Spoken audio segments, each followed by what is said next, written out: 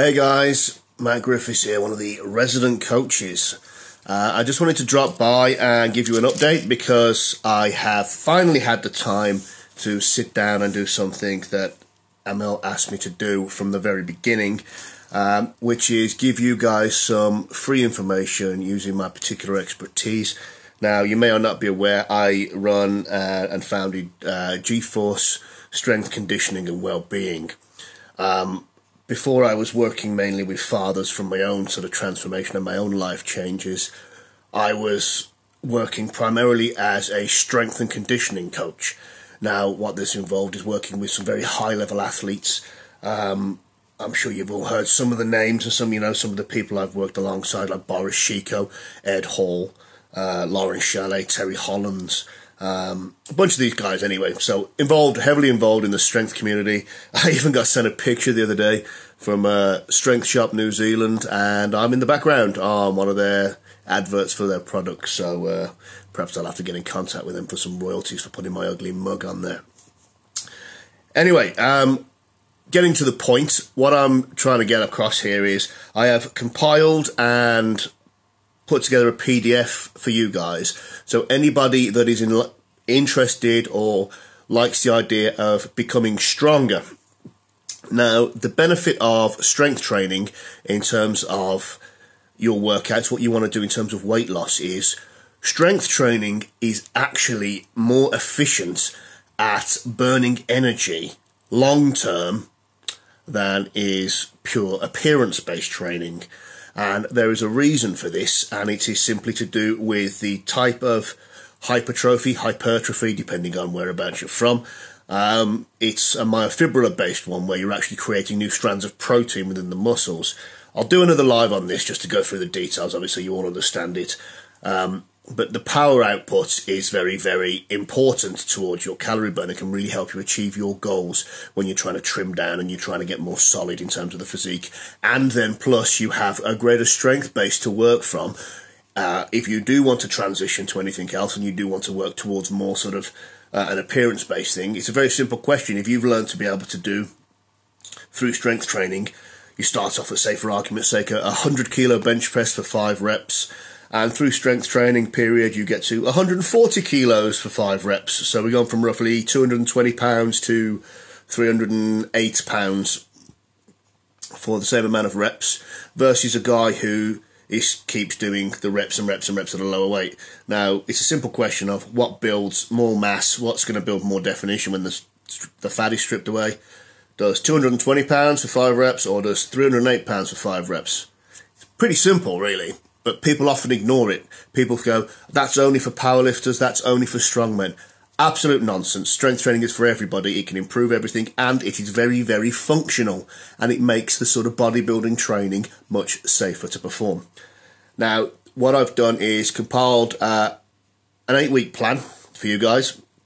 The first four weeks are initiation four weeks where you're going to practice proper technique because it is absolutely pivotal that you do these things properly.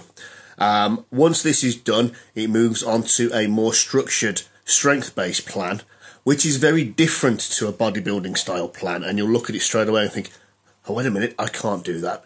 But the whole concept of strength training is very different because what you do with strength training is you stimulate. You don't annihilate, you stimulate. So, for example, you may be squatting three or four times a week. I've done programs where in the same workout I'll be squatting twice. I'll squat, bench, squat again. Um, because what I'm doing is actually training my body to be able to take these loads and train my nervous system. You're not trying to break a muscle down and fill it with fluid, which is what the bodybuilding style stuff does. You're actually breaking it down to the repetitive stress. The body gets stronger to bear it, so it, it creates more protein strands and becomes a stronger, more dense muscle, which will last for longer and doesn't deteriorate as fast when you stop training. Hey, everybody that's watching, uh, great to see you here. I Hope this is of some use to you. Um, so yes, you've got four weeks uh, sort of introduction into this, and then four weeks where it's pretty going to be pretty tough. Uh, I haven't included in this one any percentage basis because if you're just getting into it, we don't need to worry about this. Um, this sort of whole projected one rep max calculators thing, I'll tell you now from experience, you know, I've had near enough 40 gold medals in terms of training strength athletes in international competitions. You know, not just national, this is international level. Uh, and I can tell you straight away, these one rep max calculators are absolute nonsense. They don't work that way because if you can do five reps with something, you can't predict a one rep max from it because it depends entirely on the structure of your body uh, and your nervous system, and you don't know where that weak link is going to appear. Anyway, I've sent this PDF uh, across to Emil, and hopefully you'll get it up on the site and get it shared. Have a look at it. Uh, it's perfectly free, you know, you can download it, you can look at it. Um, I'm not holding anyone to account or anything like that, so you can go ahead, share it, do what you want with it. But it's for you guys. Hope you improve from it. Um, and I hope you have a great day and a great weekend. You'll have to excuse the strange surroundings for me, but I'm staying at a friend's house while my partner is working. Uh, we are attending a charity ball tonight where we're donating various gifts. So I've donated an eight week program um, for uh, to take a client on full time uh, which they'll be bidding on to pay for charity. So just trying to give a bit back to the community as well. So it's put me in a bit of a different place. Uh, but if you have any questions or queries on it, if you're trying to follow it and you're unsure, tag me, just tag me or send me a direct message. Uh, or if you don't want to talk to me, go through a mail and get him to message me and I'll try and answer all your questions on that. And I hope you all have a great day and I hope it's of great use to you. Um, this is just part one once this goes down and people start having a look at it, then I'll put part two out, which is going to get a little bit more specific because there's quite a lot of science to strength training that isn't really discussed in the bro communities, as it were. People think they know how it works, but when you actually come down to it, it's quite complex. Um, but I'm not going to put all that out there and start baffling people with it to start with. Once you have a go at these lifts and you see the challenge and the neurological stress, then we'll start working on it from there. So have a good one, guys. I hope it's very, very useful. Um, there's already a lot of great content from a lot of the other coaches on there. There's some great beginner routines. There's some great nutrition guides on there. So we're all doing our part to try and make sure that you guys uh, have got an awesome group, an awesome thing to follow. You're welcome to contact any of us, uh, and we're always there to help out. So have a good one, guys. Great weekend. Love to all your families. Take care.